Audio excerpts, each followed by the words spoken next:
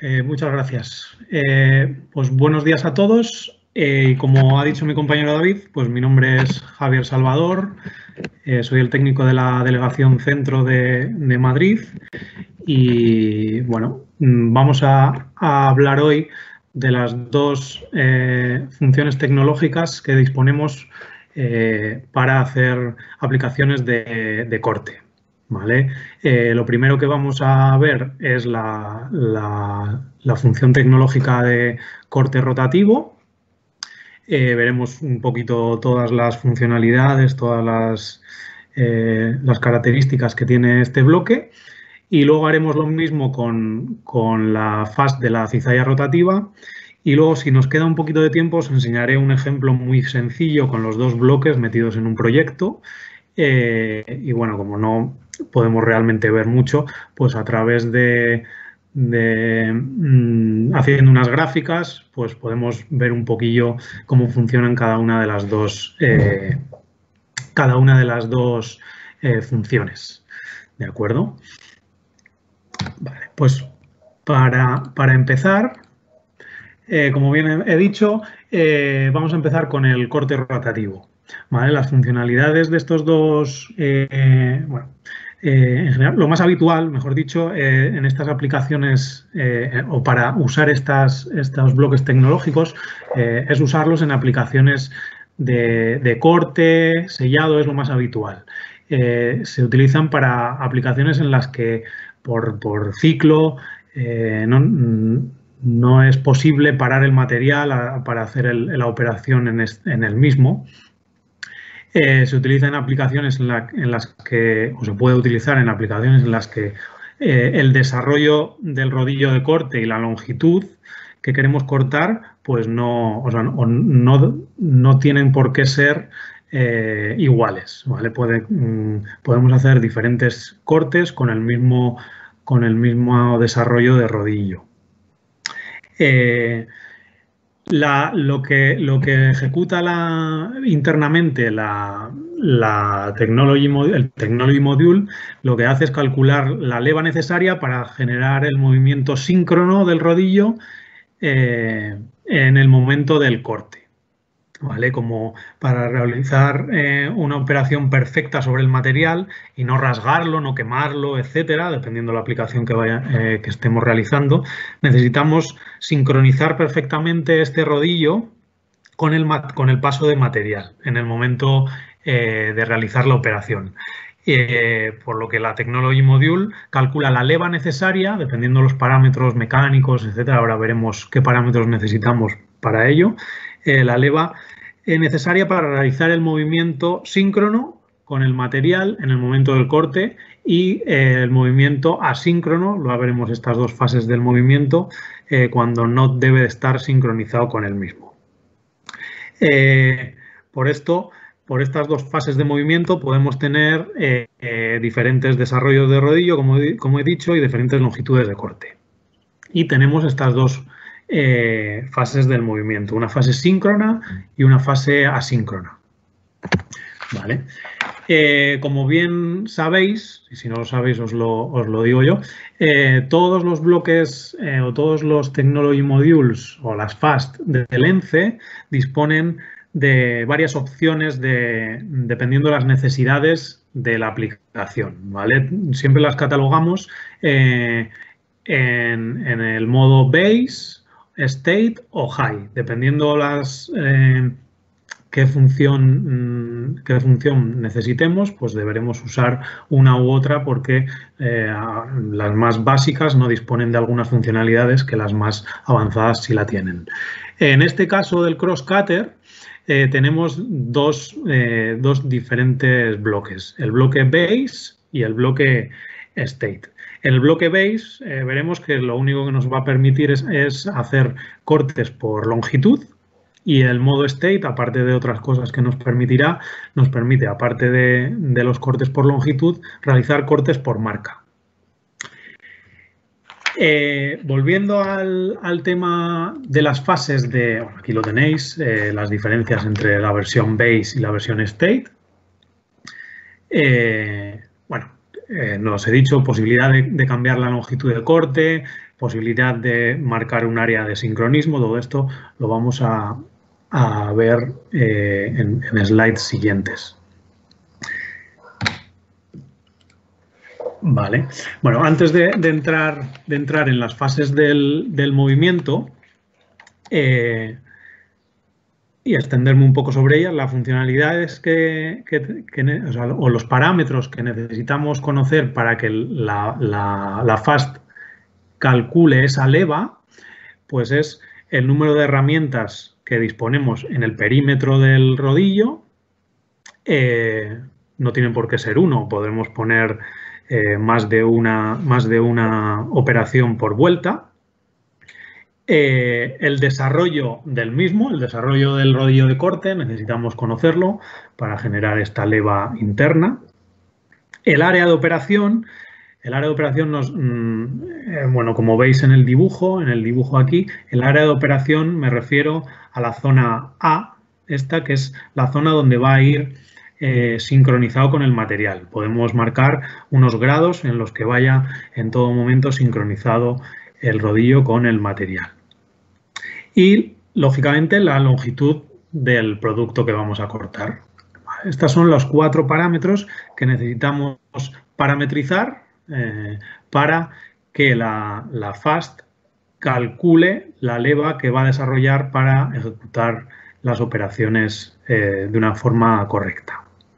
Con estos parámetros, como hemos dicho y nos repetimos, eh, generaremos las dos fases del movimiento la, fase síncrona, que es en la que va en la zona A sincronizado con el, con el material, y la, zona, y la zona B, que es el resto del, desarrollo, que será mm, una zona donde irá, dependiendo la longitud de corte, irá eh, más rápido o más despacio que el material para estar preparado en, el siguiente, en la siguiente llegada de la zona síncrona para realizar la siguiente operación correctamente.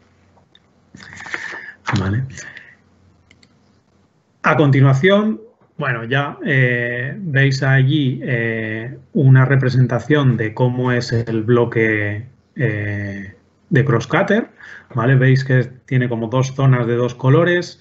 esto es para representar las funcionalidades que tiene la versión base, la zona blanca, y la zona pues marrón o grisácea, es la zona de las entradas y salidas adicionales por ser el bloque state. Dependiendo, lógicamente, al tener más funcionalidades, pues disponemos de algunas entradas y algunas salidas más en el bloque.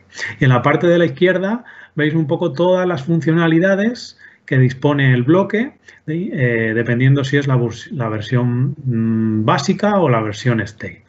Ahora Vamos a ir un poquito repasando todas estas funcionalidades para que más o menos os empiecen a sonar y sepáis si, necesitáis hacer una, aplicación de corte rotativo, con cuál de las dos la vais a poder realizar.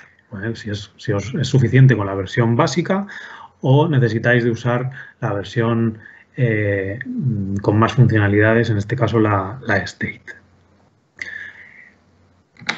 Una nota antes de, entrar en las funcionalidades es importante, bueno, de hecho, si no lo, si no lo cambiaríais, o, si no lo cambiarais, eh, mejor dicho, o, eh, o se os ha olvidado parametrizarlo, eh, es que las, no solo esta, esta Technology Module, esta FAST, sino todas las FAST que conllevan un sincronismo entre dos ejes, necesitamos configurar el eje como rotativo, tanto el maestro como el esclavo. En este caso veis ahí una representación, eh, una representación en la que en el punto 2, el traversing range, hay que configurarlo como módulo, es decir, como eje rotativo.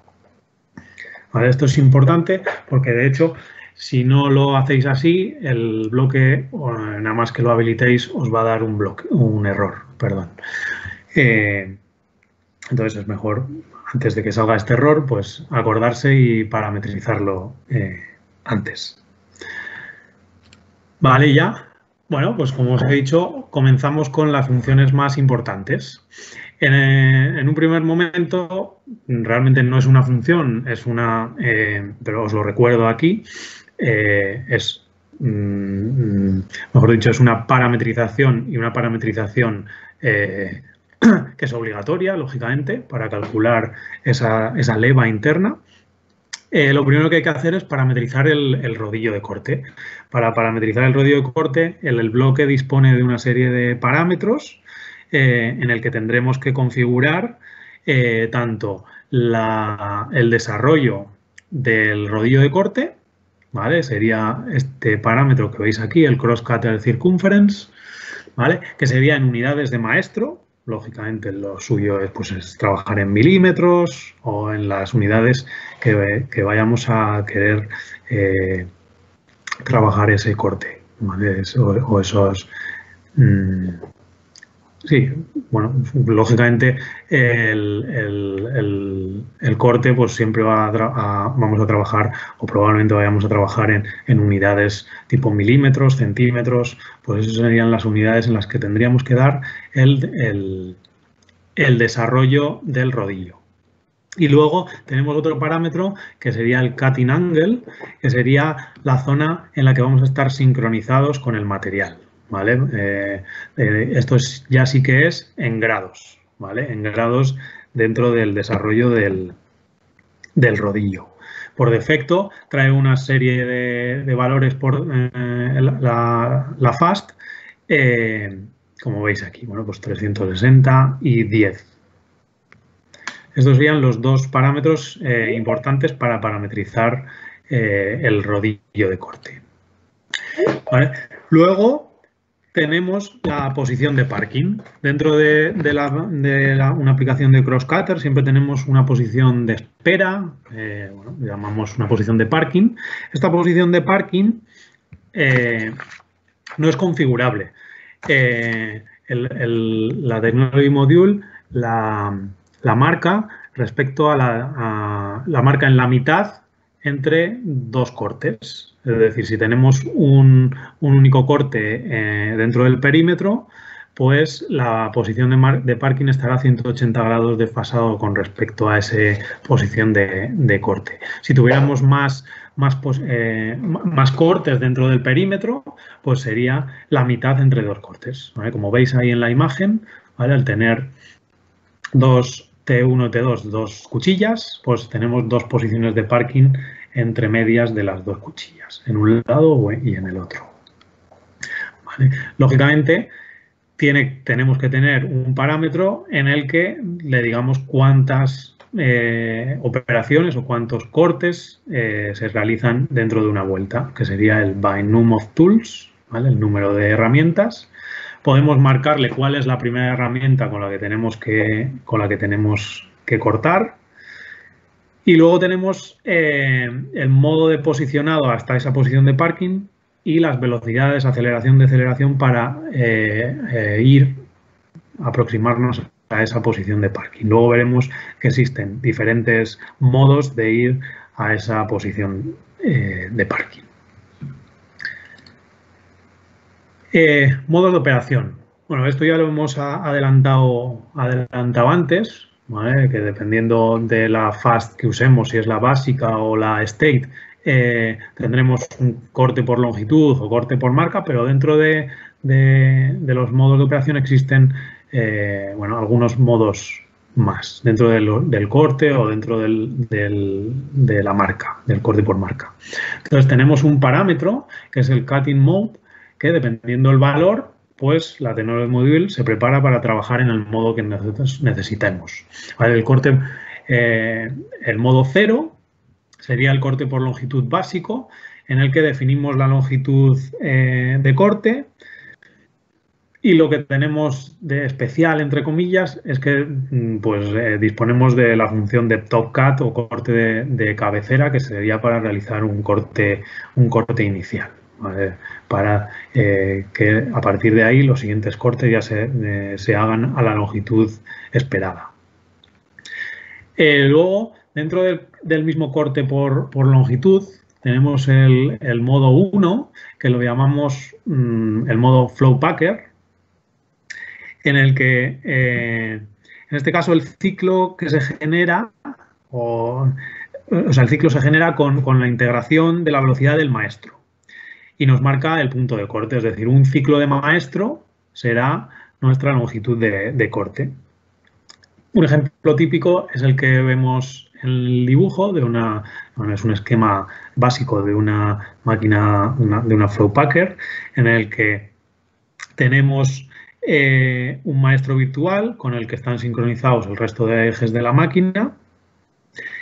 Este maestro virtual, por ejemplo, tendrá un ciclo de, 360 grados, por ejemplo, que corresponden eh, en el eje M1 que sería el de, avance de, material con X milímetros de, avance, y en el eje M3, que es en el que nos, eh, nos tiene aquí, del cross cutter, eh, pues sería un ciclo de maestro, pues un, corte. En este caso que tenemos cuatro cortes, pues sería 90 grados de giro del, del rodillo. luego tenemos el modo 2, que el modo 2 eh, eh, es la corte por longitud, pero con corrección por marca.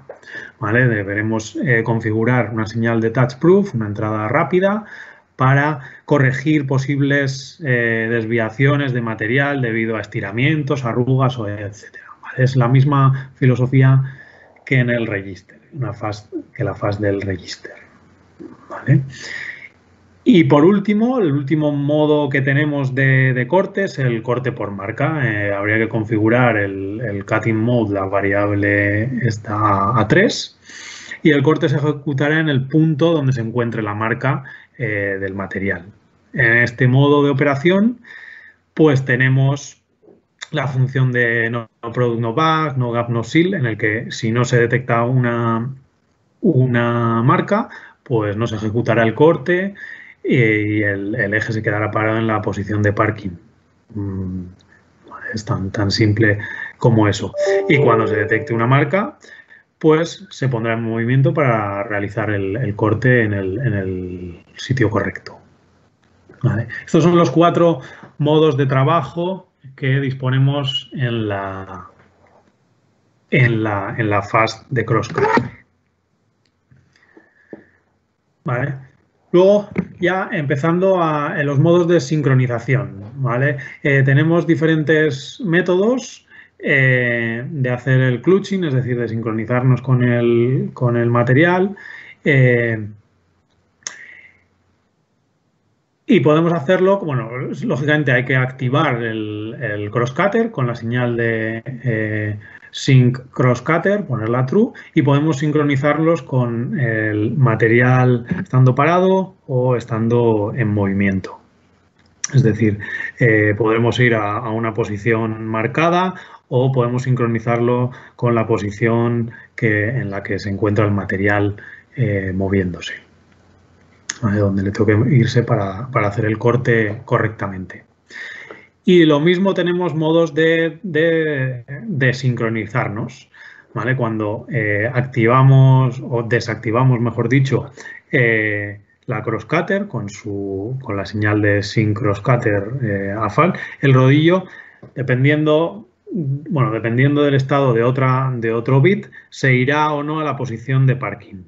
¿vale? Eso sí, siempre se irá a la posición de parking si, quitamos la señal eh, estando en la zona de corte, en la zona síncrona, eh, esperará a salir de la zona síncrona y en el momento en el que haya terminado el corte eh, se irá a la posición de parking.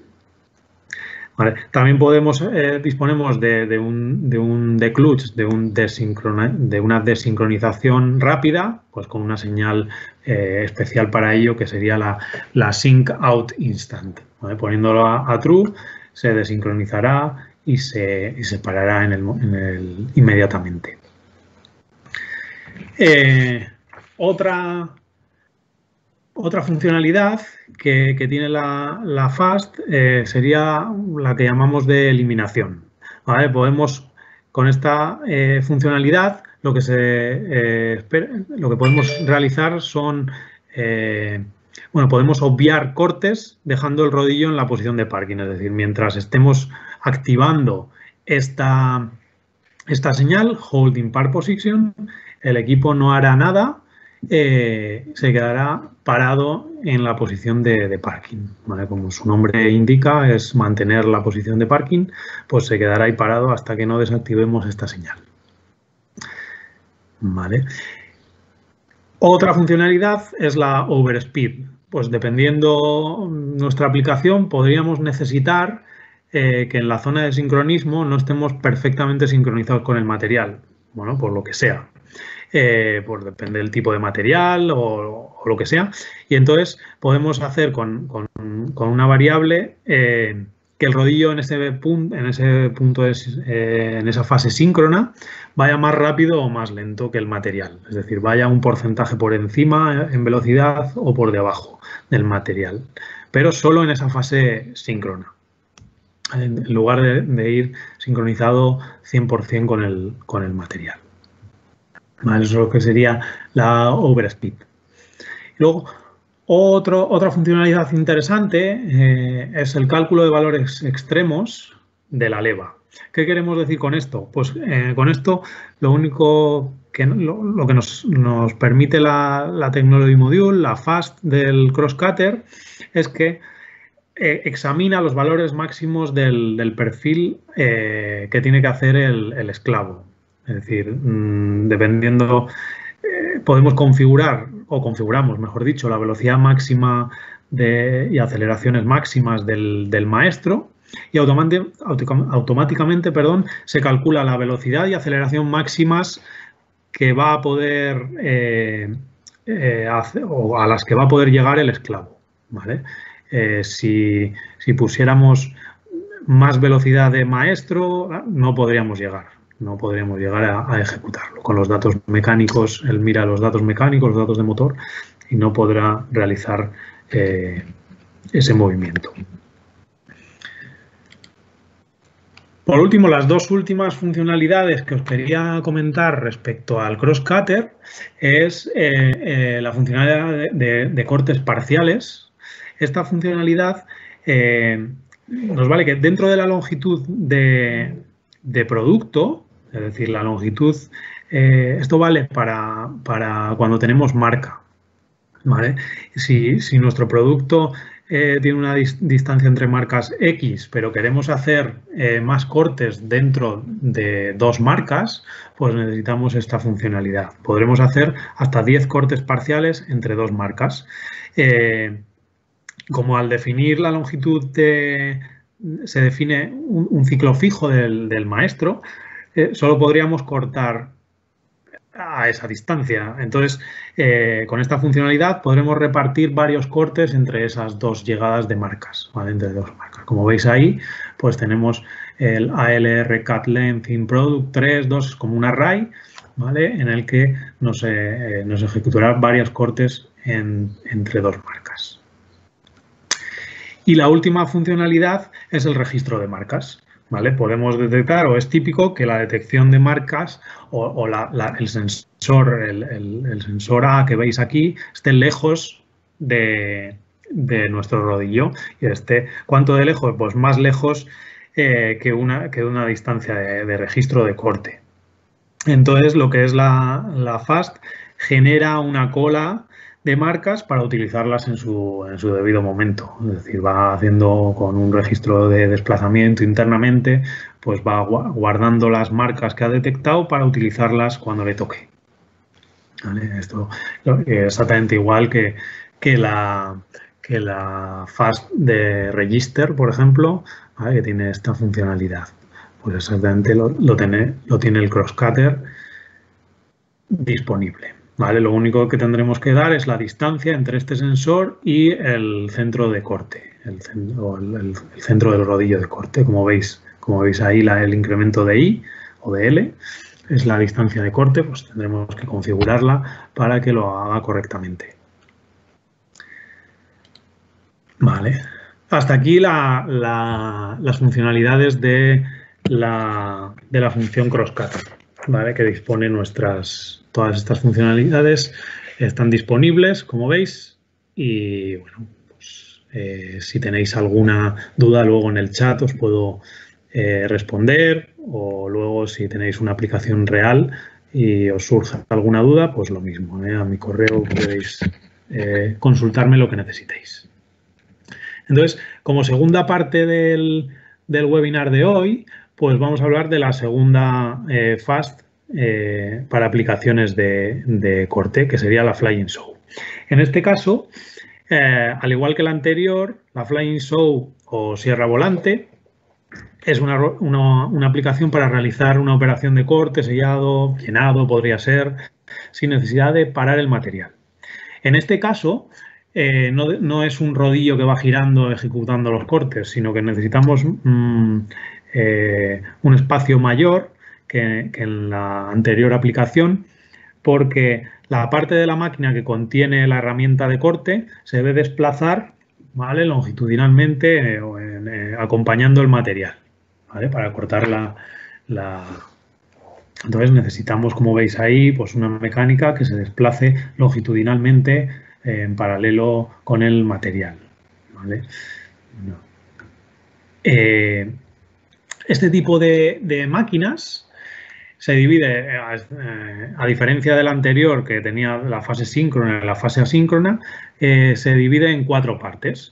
La primera parte o en cuatro pasos. La primera, el primer paso es la fase de espera. Bueno, eh, inicialmente tendremos fase de espera. Puede ser que dependen, dependiendo de las longitudes de corte no haya fase de espera pero bueno, eh, las fases normales son la fase de espera, la fase de sincronización, la fase de, movimiento sincronizado, cuando ya vamos sincronizados con el material, y la vuelta a la posición de espera. Y lo mismo que el resto de funcionalidades y lo mismo, lo mismo que la, función anterior de Crosscutter. En este caso, disponemos de dos funcionalidades dentro del bloque, la función o dos niveles de bloque, mejor dicho, el bloque eh, con funcionalidad básica y el state. Dependiendo eh, lo que necesitemos en nuestra aplicación, pues será necesario usar la base o la state.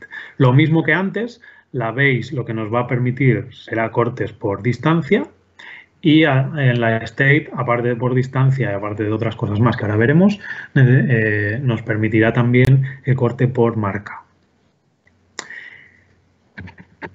En las dos siguientes eh, diapositivas o slides, bueno, veremos aquí otra vez lo que os acabo de comentar sobre las versiones, las diferencias entre la base y la state. Y en esta veis, lo mismo que anteriormente, eh, bueno, es, el guion es un poco el, eh, mismo que, en la anterior. Eh, veis el, bloque de, la sierra volante, dividido en dos zonas, en dos colores, pues son las entradas y salidas de que disponemos en la versión base, en la zona blanca, y añadido en la versión State tenemos la zona grisácea con más entradas y más salidas, dependiendo eh, o debido a que tenemos más funcionalidades. Y eh, en la siguiente slide vemos un poco todas las eh, funcionalidades que tiene este bloque divididas en la versión Base y la versión State. Veis que aquí eh, es una aplicación un poquito más sencilla que, la de Crosscutter. Tenemos, no, tenemos tantas funcionalidades como anteriormente. Eh, como he comentado antes, es, eh, perdonad que me repita, pero es importante tenerlo en cuenta, al ser una aplicación de sincronismo, necesitamos que los ejes sean configurados como rotativos, como módulo, ¿vale? Importante. Dentro de la configuración del eje, en los datos mecánicos, donde eh, marcamos la relación de reducción, el, avance por vuelta, etcétera, eh, tenemos que configurarlo como módulo. Y ya pasamos a las funciones eh, más importantes. Eh, la primera que os quería comentar es la parametrización o los parámetros que tenemos para parametrizar el perfil de sincronismo, los datos de velocidad, aceleración, con el que el eje se va a sincronizar con el esclavo en el momento, en la fase 2, es decir, en la fase de sincronización. Eh, y desde que está en la fase de espera, utiliza estos parámetros, sync bell, sync acceleration, deceleration, para sincronizarse con el material. Modos de sincronismo. Lo mismo que en el anterior bloque, tenemos que sincronizarnos con, algo y tenemos diferentes métodos de sincronización. El primer método, bueno, no he querido poner mucho texto en las, en las slides, pero os pongo qué, variables eh, forman parte de cada uno de los modos de sincronización. El, modo, el primer modo, el modo A, que es un sincronismo instantáneo, eh, nos sincronizaremos con un, con, cuando activemos con un flanco en la señal sync in instant. ¿vale? Con, este, con esta señal poniéndola true, eh, nuestra aplicación arrancará y se sincronizará con, la, con, la, con el maestro. Bueno, se utiliza eh, básicamente, eh, para hacer ese primer corte de, o top cut, que disponemos también en la aplicación, para despreciar ese primer corte, nos sincronizamos rápidamente, cortamos y a partir de ahí volvemos para atrás y ya podemos empezar a hacer los cortes de la longitud deseada. El modo B, en el que os pongo que la señal X flying show está a true, en este modo el carro se sincroniza con el maestro cuando se activa la señal eh, X Start Flying Show. tenemos que eh, activarla en todo momento, es, la, marcha de, la aplicación, pero teniendo este, bit activado del, Sync Flying Show, eh, se sincronizará cuando haya pasado la longitud de corte que esperamos cortar. En el momento estará parado y cuando haya pasado la longitud de corte eh, necesaria, se sincroniza, corta y ya podemos volver atrás a, la zona de espera.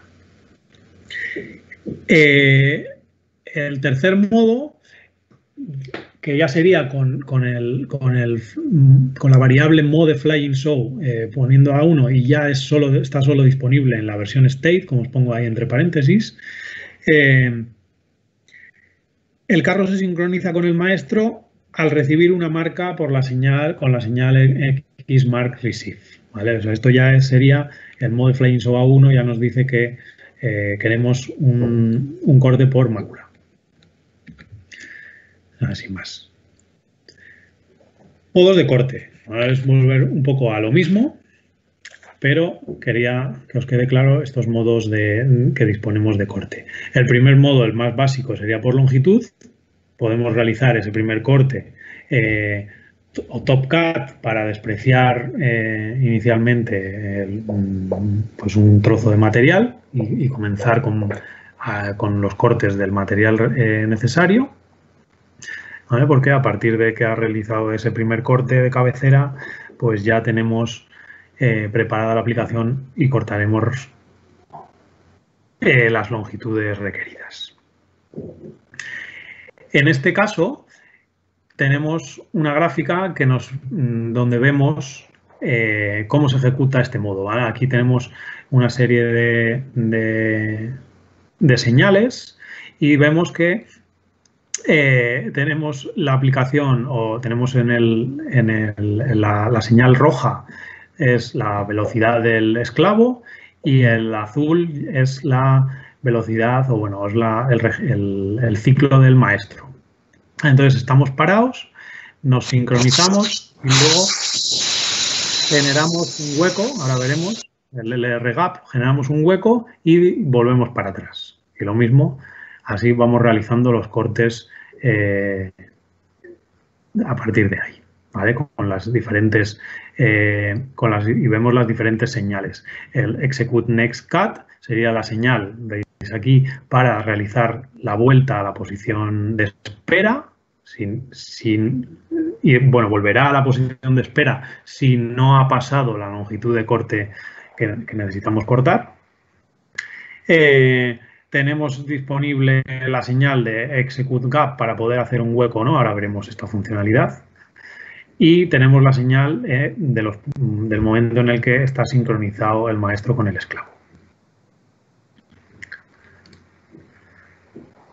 El siguiente modo de, corte sería por marca. Bueno, pues el material vendrá marcado con, eh, con unos topos y al detectar esta marca, el carro se sincroniza para cortar eh, en ese punto. La longitud de corte, lógicamente, vendrá determinada eh, por la distancia entre marcas. Entre dos marcas será la, longitud que vayamos a cortar. Y vemos, eh, bueno, lo mismo que antes, una representación de, eh, de, cómo, de cómo sería este modo de corte. ¿vale? Veis, ahora tenemos, aparte de, las señales que teníamos antes, tenemos la señal azul que veis aquí, que es la recepción de las marcas. Veis que hemos recibido tres marcas, realizamos tres cortes. ¿vale? Esto ya eh, está con este registro de desplazamiento en el que va utilizando cada marca en su debido momento, que es una de las funcionalidades que vemos, que os explico eh, más adelante. Eh, y generamos también el hueco. Vale. La siguiente funcionalidad que, quiero comentaros, que ya la hemos visto en las gráficas, es la de separación de material. Tenemos un, un bit, que es el execute gap, con el que si lo tenemos activado, después de realizar el corte o antes de volver, bueno, si lo activamos antes de volver, realizará eh, bueno, un avance un poquito más rápido para generar un hueco entre el material, proteger el mismo, eh, aparte de separarlo, proteger el borde del material en esa vuelta hacia atrás. Si la cuchilla tiene que subir, lógicamente, si no hay hueco, pues eh, cortará de nuevo, etcétera, se chocará con el material, pues sí que es bueno eh, generar un hueco para no tener problemas. Siguiente, siguiente funcionalidad, pues restaurar, restaurar posición. Bueno, esto puede realizarse una vez hemos iniciado el proceso y si por cualquier circunstancia antes de cortar o que sea, eh, el eje se para o, lo que sea, pues podemos restaurar la, posición, es decir, podemos ir a buscar esa posición de maestros, es decir, sincronizarnos en aquella misma posición e, intentar no perder eh, un corte.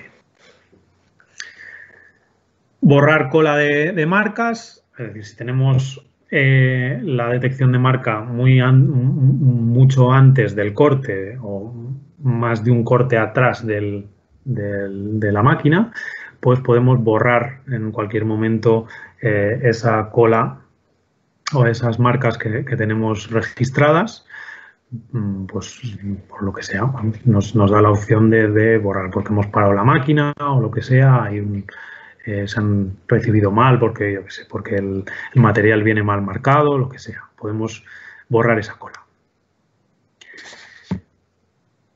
Eh, tenemos también eh, diferentes modos para ir a la posición de parking, a la posición de espera. Cuando, cuando no está activada la Flying Show, es decir, cuando no tenemos la señal de marcha activada, pues tenemos un bit directo para ejecutar este movimiento, que sería el X Move to Park Position. Cuando se activa, él irá a la posición de parking con unas velocidades, aceleraciones que nosotros podemos definir. Y luego tenemos una segunda opción, que dentro de los parámetros tenemos un, bit que se llama XParkPost, pues cuando esté activado este bit, al desactivar la, funcionalidad de Flying Show, es decir, al desactivar el bit Start Flying Show, automáticamente, si no estamos en la parking position, nos irá, eh, irá automáticamente a esta posición. Pero solo siempre que tengamos activado eh, este, esta señal de XParkPost. Si no la tuviéramos, eh, al desactivar el, Start Flying Show, pues nos quedaremos parados en la posición donde está en ese momento. Por último, tenemos el control de error de seguimiento. podemos controlar parámetros de error de seguimiento desde la propia FAST. Es decir, aparte del, error de seguimiento que tenga eh, nuestro drive, el control de error de seguimiento que podamos tener eh, automático, pues tenemos dentro de la FAST eh, unos parámetros para esto. Tenemos una ventana de error y tiempo fuera de esta ventana, serían estos dos parámetros, LR Posing Window y LR Time Posing Window, que si eh, pues nos hemos desincronizado o vamos desincronizados durante un instante o lo que sea, pues, eh, pues tenemos este control para dar un error por lo que sea. Pues eh, tenemos opción de activar esta funcionalidad. ¿vale? Siempre que tengamos el Xposing window a true, pues nos, va a, trabajar estos dos parámetros y nos va a controlar que estemos dentro de la ventana de seguimiento correctamente en todo momento. Vale. Pues eh, estas serían las funciones que me parecen más importantes tanto de la, de la función crosscutter como de la flying show. Y me gustaría, veo que estamos justitos de tiempo, pero nos da, nos da tiempo a enseñaros la eh, un, os da tiempo, me da tiempo a enseñaros la aplicación.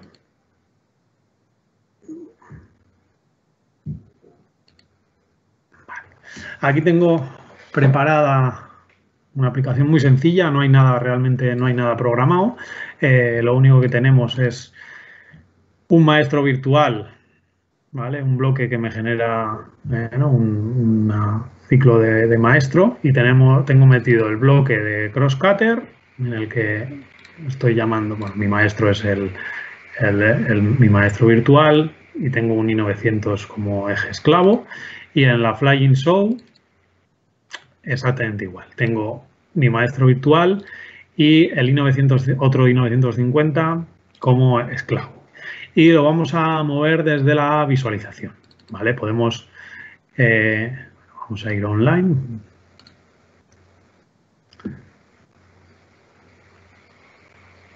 ¿Vale? Activamos, eh, por ejemplo, 50 unidades por segundo y activamos el, el maestro. ¿vale? El maestro ya estaría en movimiento Vamos a activar el crosscutter primeramente. ¿Vale? Activamos el regulator on. Vamos a darle, bueno, vamos a activar dentro de los parámetros.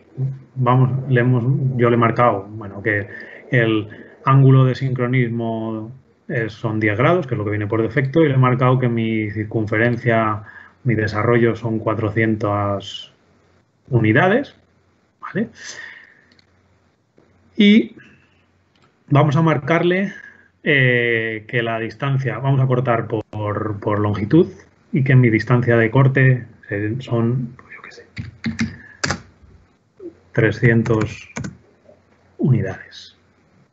bueno, podemos, ya tenemos hecho el home, podemos movernos a la posición de parking, podríamos movernos a la posición de parking, ya estamos en la posición de parking.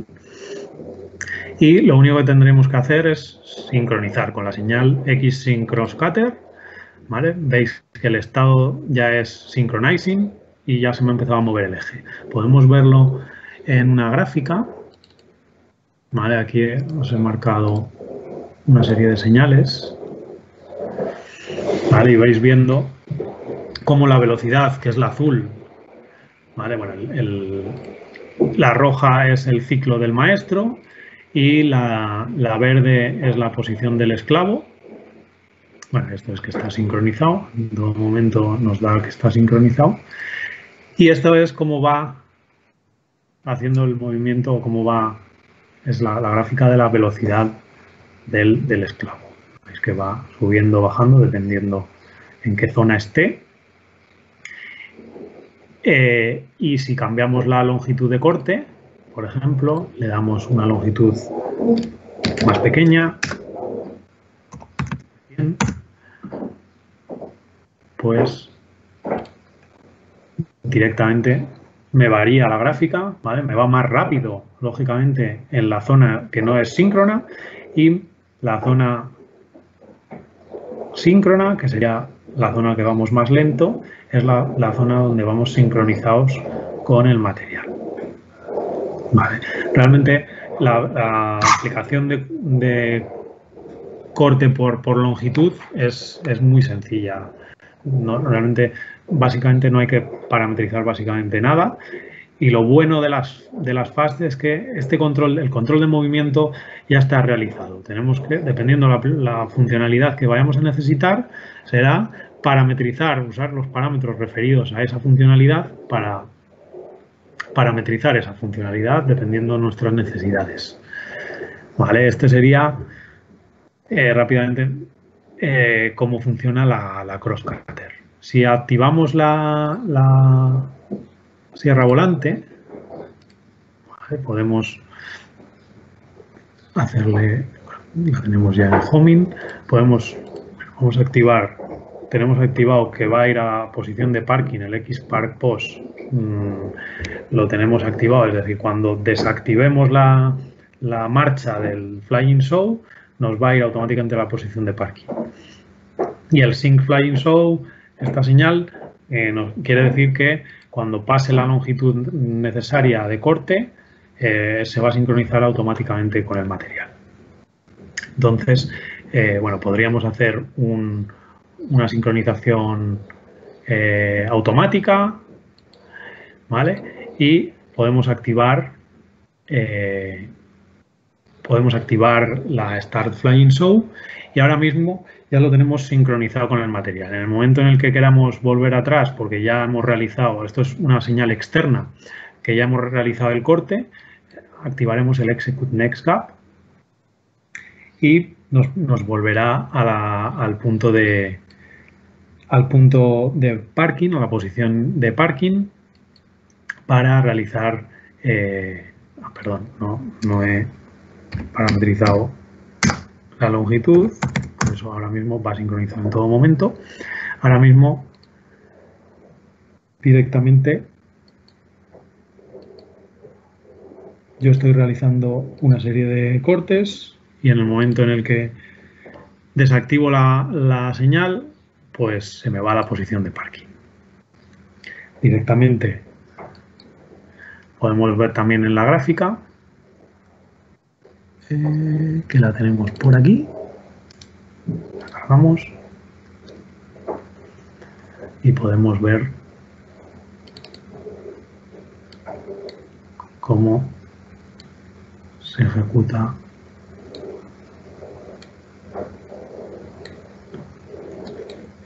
Vale, ahí ha vuelto, he marcado yo que vuelva, ahí está sincronizado, vuelve, está sincronizado, vuelve, Ahí está parado porque todavía no ha, parado, no ha pasado el material necesario. Ahí se ha empezado a mover. Vale, volvemos atrás. Sigue parado. El verde es la posición del, esclavo. Veis que ahora ha empezado a subir. Se ejecuta el corte, vuelve para atrás. Es tan, simple para eso. Pero como eso. Lo único que sí que hay que controlar la señal del execute next gap. ¿Por qué? Porque eh, puede ser que mi corte pues sea neumático o lo que sea, y entonces tengamos ese final de carrera cuando ha, acabado de cortar, ha subido, pues esa sería la señal que nos indica que ya podemos eh, regresar o volver a la posición de parking eh, a esperar al siguiente corte. Tenemos un bit para poner la posición de parking, o sea, el contaje de material a cero en el momento en el que queramos, ¿vale? Pues tenemos una serie de, alguna cosa más que, no hemos comentado. Pero bueno, si necesitáis eh, en, una aplicación real alguna funcionalidad que, se nos haya pasado comentar o que pueda tenerla, sería cuestión de que nos la comentarais y y os explicamos cómo trabaja y si la tenemos. Y nada, y hasta aquí el, webinar de, hoy. Veis que eh, tanto la aplicación de Crosscutter como la Flying Show, eh, realmente eh, lo complicado que es generar el movimiento en uno es una leva, es mucho más complicado.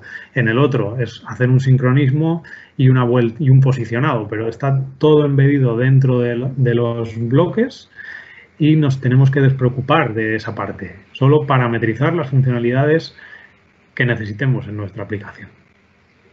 Esto es una ventaja y es realmente es ahorrarnos un, tiempo eh, y un tiempo precioso en, nuestra, en nuestra puesta en marcha y en nuestra aplicación.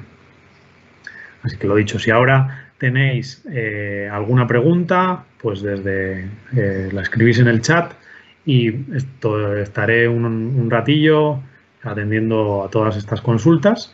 Y si luego surge cualquier cosilla, pues no dudéis en contactar conmigo a mi mail javier.salvador.lence.com y cualquier cosa os respondo sin problemas.